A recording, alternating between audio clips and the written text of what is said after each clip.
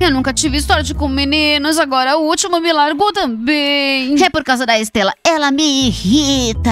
É, eu aposto que ela tá de olho no Mário. Ela quer que ele compre tudo de mais chique pra ela. Ela quer só pra ela. Ah, não fica tão chateada, Kiri, porque você pode ficar com o Chan. Eu realmente não gosto mais dele, assim. Obrigada, Zélia, mas eu não preciso do namorado de uma outra pessoa. Ryuzaki, eu lembro que você gostou dele. Eu lembro disso. O que vocês acham que eu sou, meninas? Eu pareço uma louca pra vocês?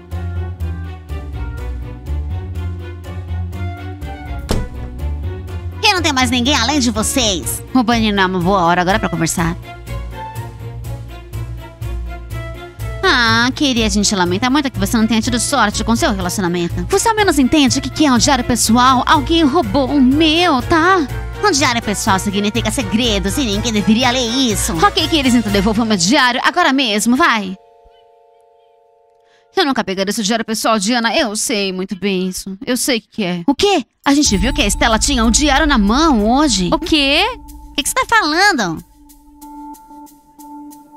Quer saber que eles não coloquem a culpa em outra pessoa, tá? Acreditem ou não, mas eu perguntei se aquele era o diário da Diana nas mãos dela, tá? E o que vocês acham? Ela disse que tinha exatamente o mesmo diário que você. Ela pode ter lido todos os seus segredos agora, hein, Diana? Eu não posso acreditar nisso. Também não acreditamos que a Estela virou o Mario contra a Kiri desse jeito. O Mario me largou. Parece que a Estela vai ficar com